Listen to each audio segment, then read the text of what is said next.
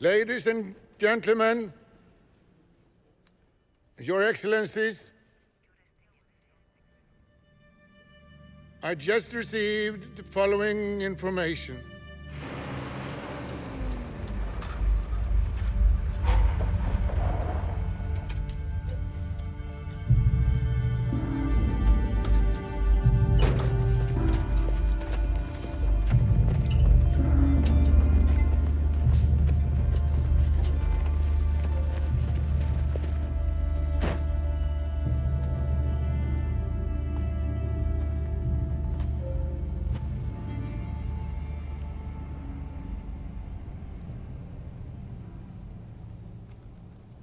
Patrice Lumumba, the former Prime Minister of the Congo,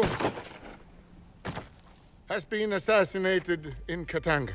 Crime